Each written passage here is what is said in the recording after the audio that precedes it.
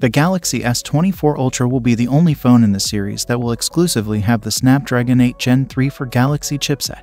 The remaining phones in the series will be a mix of Exynos 240 and the latest Snapdragon.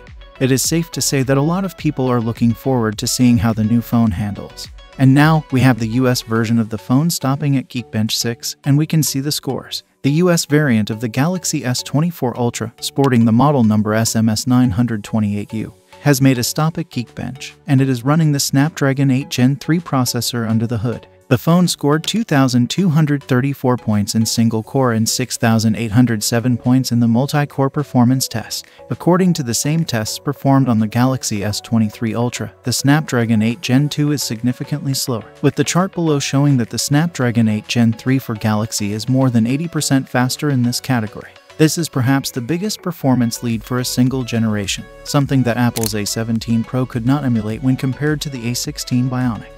What is even more interesting to note is that the Vulkan test was performed on the Galaxy S24 Plus instead of the Galaxy S24 Ultra, meaning that even with a potentially smaller cooling solution, the Snapdragon 8 Gen 3 outperformed its predecessor by a significant margin. We expect to see a bigger difference when the same SoC is found in the Galaxy S24 Ultra, as its larger vapor chamber should contribute to higher scores. Remember that this 80 plus percent difference will not be seen in every test, such as ray tracing or even Genshin impact, so we need to have realistic expectations from the Snapdragon 8 Gen 3. Regardless, we will keep our readers updated when we stumble across more benchmarks, so stay tuned for more comparison. It still is important to keep in mind that having performance headroom is definitely good and I have no doubt that the Galaxy S24 Ultra will be one of the fastest phones available in the market.